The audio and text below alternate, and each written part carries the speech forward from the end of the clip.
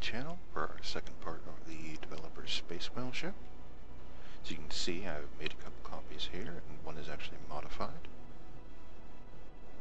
As promised, I did make it completely flyable. It is able to connect with this connector on the bottom.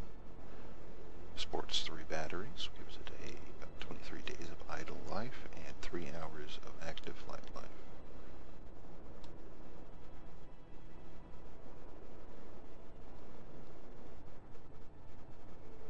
As you can see, I'm using some I'll go ahead and put the link to the mod in the description. So as to reduce the uh, cut up of the profile. Of course, in here we do have the actual seat for flight.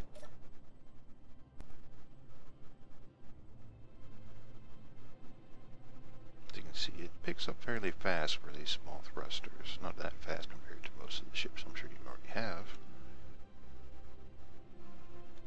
But it's fairly well controllable. Course I did go ahead and map the ejector.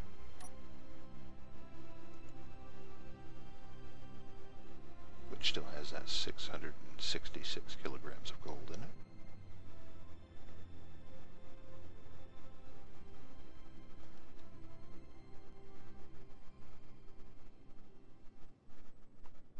I'll go ahead and upload the unpainted version that comes with the stock paint.